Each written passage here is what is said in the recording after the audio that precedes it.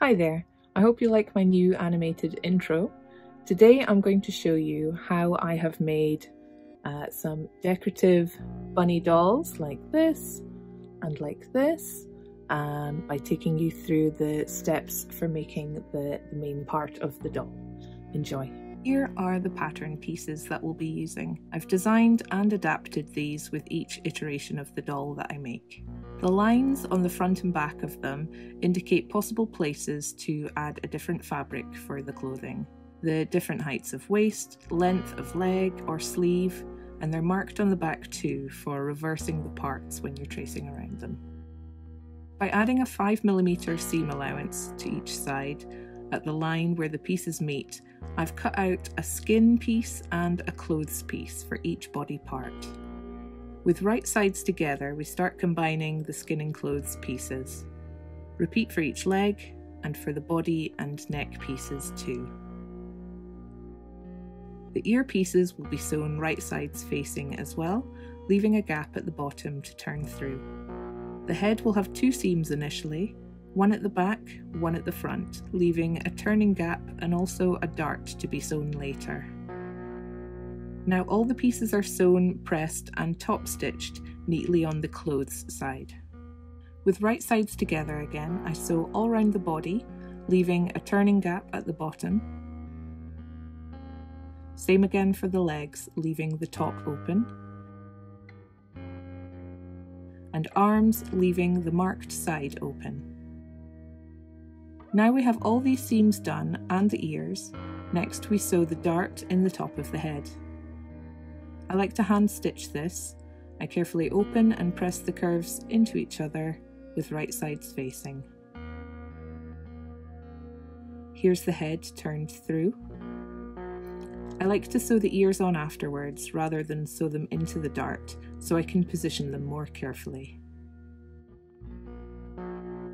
Now I turn the ears right side out. A good pair of tweezers is handy for this, although I would rather get some hemostatic forceps one day.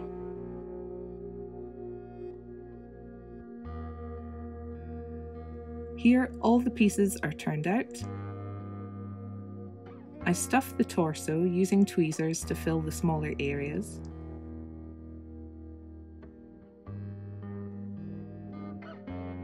Then close the gap with a ladder stitch like this.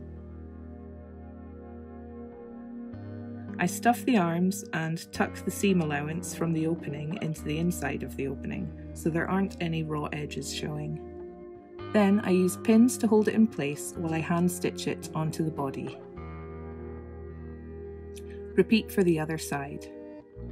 For the legs, again I fold over the edge to the inside and use a neat ladder stitch to join them to the body. Here we have the arms and legs attached. Next is the head. Once stuffed, I tuck in the raw edges again and position the head, sewing it onto the neck. Repeat again for the ears, although I don't stuff those.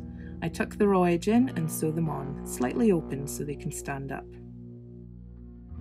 Here's an example of a blank doll I've made with a fabric tail added using a circle of fabric, stuffed and closed using a running stitch, then sewn on like the limbs.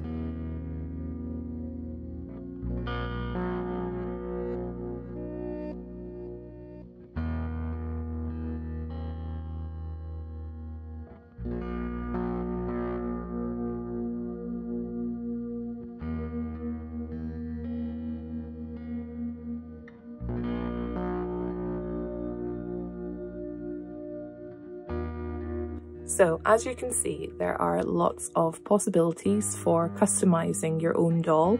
For example, uh, with simple painted features, just painted on eyes, any details like that with fabric paint. Um, you can paint on the shoes as well. Hopefully you can see just fabric paint and some details glued on. Clothes like this can be added on afterwards, finishing off with a fluffy pom-pom for the tail. You can see I've used fabric paint for the ears here and details stitched on for making fake jeans. Um, you can stitch on the pockets, glue on little extras like this. Um, this one's got felt shoes that I made afterwards, just improvised shape to see what works. You can make little accessories for them. We've got a little shopping bag and even go on to make other animals as well. So here I've got a fox made again with sort of fake jean details, even a pocket stitched on afterwards. And yeah, lots of lovely, lots of lovely little details like that. And she's got a little handbag too.